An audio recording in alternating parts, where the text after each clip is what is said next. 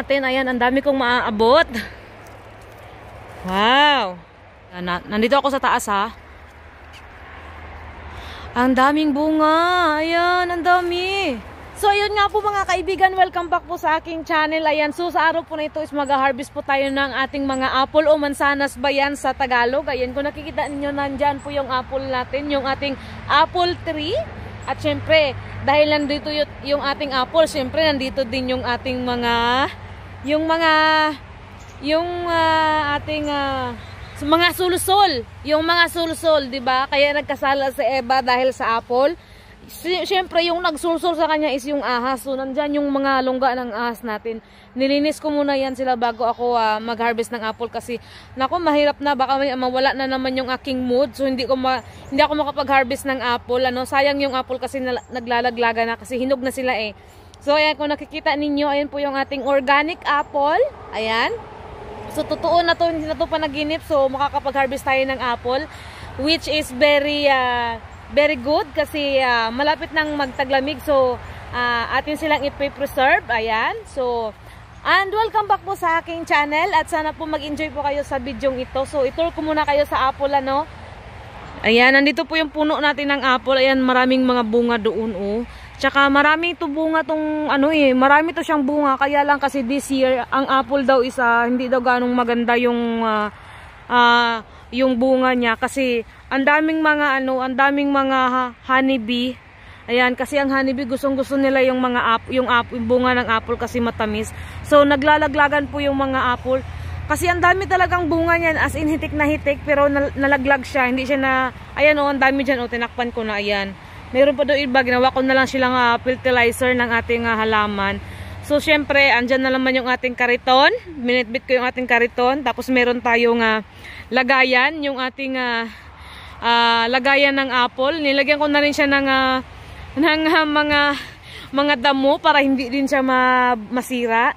Siyempre yung aking pinaghirapang uh, net, ayan, ito po yung panty ko na sira, ayan, ganyan yan siya oh, para hindi malaglag, para hindi maano yung apple, ma, hindi mabugbog, o ba diba? ayan. Panty ko po yan, pagpasensyahan nyo na, ayan, na, makikita nyo rin yan sa video ko dati, suot ko rin to eh. Ayan, so pinaghirapan ko rin niyang gawin. Filipino style po yan. Dito lang po meron yan. Tapos syempre yung ating balde. At meron tayong tali. Ayan. Andito yung ating balde kasi magdadala tayo ng balde sa ibabaw. Naririnig nyo ba yung mga ibon? So maraming ibon kasi ayan oh, yung mga ibon dun. Oh, 'di ba? Ayan, 'di ba ang linis-linis na oh, 'di ba? Ngayon makikita ko na yung ahas, yung aking kaibigan. Kasi yung lungga nila nandiyan. Tapos doon din, meron din yung ahas doon. So, ang daming ahas mga kaibigan. Andun, ay, daming ahas. Ang dami palang ibon.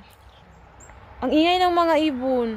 Uma kasi kinakain nila yung mga yung mga honeybee, kinakain nila yung apple, tapos yung ibon naman kinakain nila yung honeybee. O, di ba? Di ba magkaibigan sila kaya mag-umpisa na tayo mag-harvest. Akyat lang ako, tap uunahin kong ano, harvesting yung mga maabot ko lang. pangmalakasan ng panungkit. yung natin, diba? Oh, nalagay. Oh. Hmm. Yeah.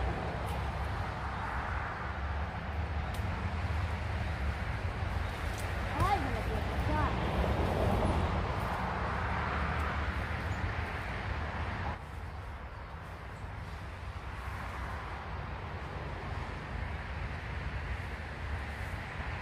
Meron tayong ano. Tingnan nyo. Tingnan yung panunggit ko. Kasi leggings ko to eh. Oh. Oh, di ba? Ang lalaki eh. Ang lalaki niya. Aakyatin ko na yung ating apple. Dalahin natin yung ato. Kailangan may tali. Ayan. Tapos ganito natin yung tali, oh.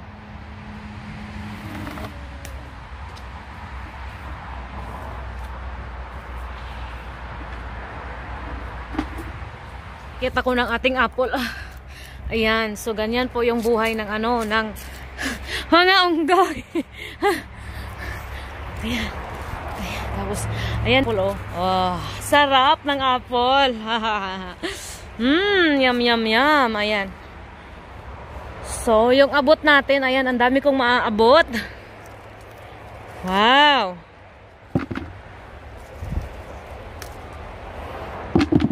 Yan. Ayan po yung ano. Yan. Na, nandito ako sa taas ha. Ang daming bunga. Ayan, ang dami. Ang daming bunga.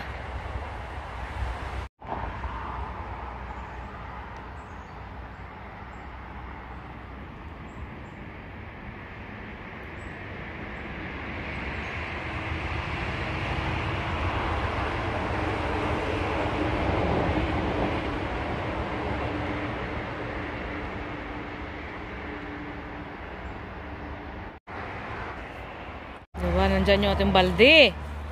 So, mangunga tayo. Ayan o, oh, ang laki oh. Ang laki nito. Wag. Oh, ang sarap. Hmm. Hmm. Ang bango. Ang bango niya. ang bango as in. Hmm. Kaya hindi ako makakakagat kasi nakabrace ako eh. Masisira yung ano natin ngipin. Ayan, pero ang bango-bango niya. So mag-harvest pa tayo doon. Ang daming bunga doon sa taas ng ulo ko. Yan oh, ang dami niyang bunga. Ano yan? Bang! Tingnan yung ano doon oh, yung mga sunflower natin ayun oh. Ayun yung mga sunflower oh, ang ganda. Oh, ba? Ang ganda ng mga sunflower natin na mulaklak na kasi sila. So, maano po 'to ha? Ano malaki po kasi yung puno ng apple. Kaya ah, talagang ah, parang nasa ano ako no? Nasa jungle ako kasi malaki nga yung puno ng apple natin. Mm, mm. Oh, diba? Maganda. Yan. yung iba yun oh. Yung abot ko pa ayan. Ang dami din bunga doon oh yun oh. Wow! Ang dami kong haharbisin. Hmm. Oh, ang laki. Ang laki-laki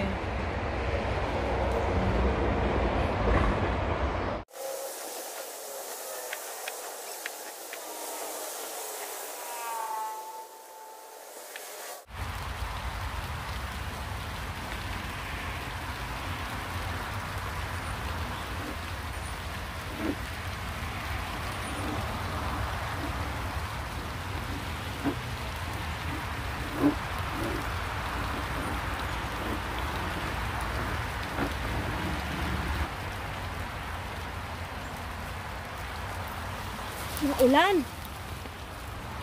Na harvest o unang harvest ko pa lang yan, naulan na. Ayan, so hihinto na ako kasi uuwi na ako na ulan.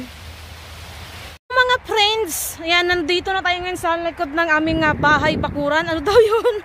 Ayan, nakikita nyo ba yung mga ano, oh, yun, oh, yung mga dahon ng mga puno? Nag-iiba na ng kulay kasi malapit na dito. Ayan, oh, ayan, oh. Ayan, ayan, i-flex natin yung dahon. Ayan, ayan, ayan, ayan, ayan. Ayan, kasi Malapit na dito ang winter. Malapit na magtaglamig. Kaya nag-harvest ako ng ating apple. Siyempre, nandito tayo ngayon sa ating asyenda. Char! Welcome back sa my channel, sa my channel mga friends. Ano Welcome back po sa aking channel mga friends. Ayan. Kahapon, nag-harvest ako ng apple. Pero umulan kasi mga friends. Kaya, hininto ko yung pag-harvest. Kaya ngayon ko siya tinuloy. Tapos, gusto ko sanang mag-video. Ang problema, kinagat ako ng honeybee. Ayan, marami kasi mga ano, mga honeybee diyan. Kasi sinisip-sip nila yung katas ng apple kasi nag nag-overripe yung mga apple eh. So sinisip-sip nila yung mga katas ng apple. Nung kinuha ko na yung apple, may mga honeybee. So kinagat ako ng honeybee. Ayan, hindi ako nakapag-video So, ang, ang ginawa ko na lang, tinapos ko na lang silang harbisin mga friends kasi masakit yung kagat ng ano eh, masakit yung kagat ng honeybee.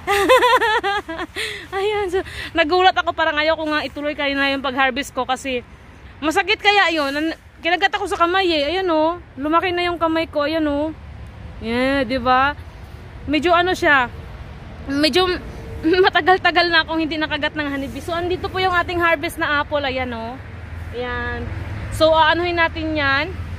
Aking mga harvest na, apo, na apple. Kahapon hininto ko siya kasi umulan talaga siya malakas. Ayan, nakikita nyo ba yan? Ayan, oh, ganyan yung mga kinain ng honeybee.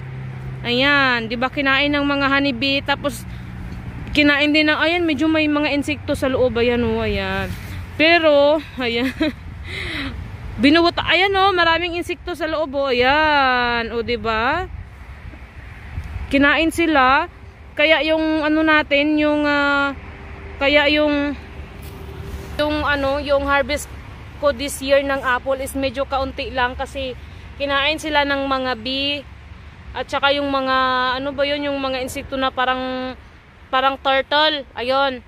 Pero okay lang kasi meron pa naman kaming apple na harvestin doon sa may uh, doon sa may kagubatan. Maraming apple doon eh, yung mga wild na apple.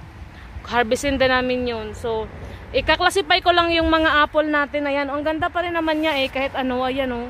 O, di ba? Maganda pa rin naman yung uh, kinalabasan kasi ang lalaki ng apple ko this year.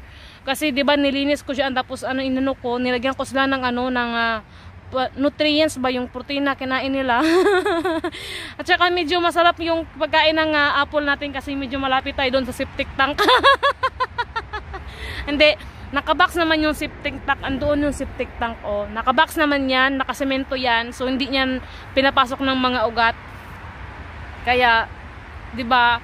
Tsaka gagawin ko sa apple is uh, lulutuin natin yung ating apple ano, ayan, para meron tayong kakainin na sa buong winter.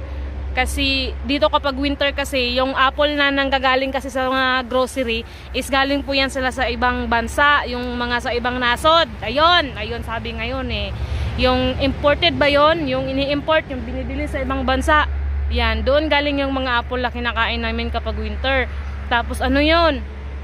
Ah, solid. Solid sa mga chemical. Unlike kapag mga ganto yung mga organic, yung mga apple dito sa lugar namin, ayan, more on mga organic yan sila. Kasi yung mga pataba nila is tae. Tae ng baka, tae ng manok, tae ng baboy. Ayan, kayo ha, green-minded kayo ha.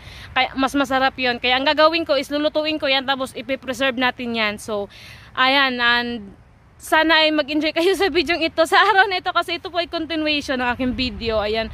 Medyo maganda ang panahon ngayon. Ayun oh. Ayan. Siyempre, bit-bit ko na naman yung aking kariton. Andito oh. Ayan, maraming nalaglag dyan pero hindi ko napupulutin yan kasi ano ko na yan, pagkain ko na yan, balato ko na yan sa mga honeybee. Ayan oh, marami doon doon oh. Ayan. Kaya naglalaglagan din yung kamatis natin. Kamatis natin yung dyan. Ayan. Ang ganda ng panahon ngayon. O, diba? So, ikaklasify ko lang yung ating apple kasi para matapos na tayo. Tapos, uh, uh, anuhin natin yan. Uh, uh, lulutuin. Paulit